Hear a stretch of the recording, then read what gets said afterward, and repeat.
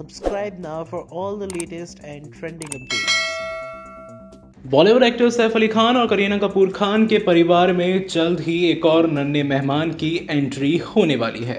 खैर, अगर अभी तक भी आपने हमारे चैनल इंट्रेंड न्यूज़ को सब्सक्राइब नहीं किया है तो चैनल को तुरंत सब्सक्राइब कर लें और बेल आइकन को भी ज़रूर दबा दें।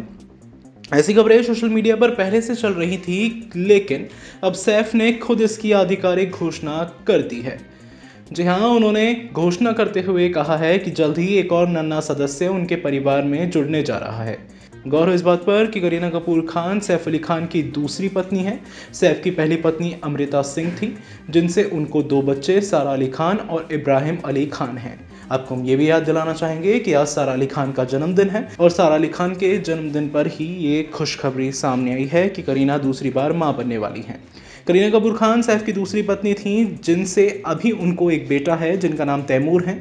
अब तैमूर अली खान को भाई या फिर बहन मिलने वाली है। अब बता दें कि आज सैफ की पहली बेटी सारा अली खान का भी बर्थडे है। इस खास मौके पर उन्होंने करीना के दूसरी बार प्रेग्नेंट होने की घोषणा की। सोशल मीडिया की अगर बात की जाए तो करीना इंस्टाग्राम यूज़ कर रही हैं। सैफ किसी भी सोशल मीडिया पोर्टल पर नहीं है।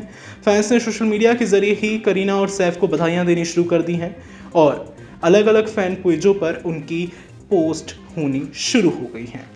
खैर आप क्या कहना चाहेंगे इन सब पर, हमें नीचे कमेंट सेक्शन के ज़रिए अपनी राय ज़रूर बताएँ।